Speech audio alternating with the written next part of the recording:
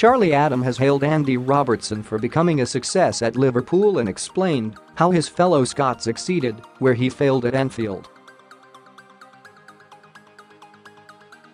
Both men were signed by Liverpool from clubs relegated from the Premier League.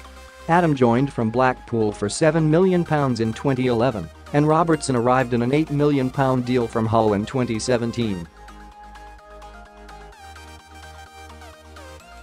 Adam struggled at Anfield before leaving the club when Brendan Rodgers replaced Kenny Dalglish a year later, but Robertson has become an unexpected hit, establishing himself as one of Europe's best left-backs after a slow start to life at Liverpool. Adam believes that Jurgen Klopp's decision to allow Robertson to bed in slowly helped the current Scotland captain settle at Anfield, whereas his own introduction to the team was a little too rapid. He told the Scotsman it's hard when you come from a team that's been relegated. I did it as well from Blackpool. When I went, Stevie Gerrard was injured along with a few others, so my opportunity came quite quick, but they were in a transition period. If Stevie or Lucas had been fit, I'd have been in the same situation Andy was and might not have played because I came from Blackpool.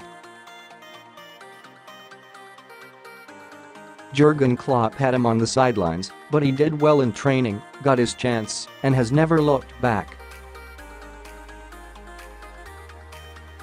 He's been the best left back in the league, probably the best left back in the Champions League as well. He's proof that it's not where you start your career that matters, it's where you finish.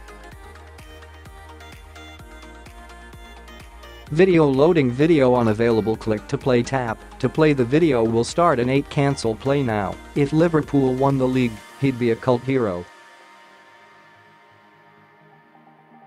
The players love him, the fans love him, Liverpool have always had a tradition of Scottish players, and the one thing they always love about them is how hard they work. We have the most endeavor, we want to win, we have a passion and they've related to him in that way. But don't forget he's also a quality player. His assists, the link-up play he has with Sadio Mane is fantastic. Although it took him three or four months to get the opportunity, he hasn't been out of the team since. Meanwhile, Adam insists he tried to convince Stoke to sign Robertson when Hull were relegated.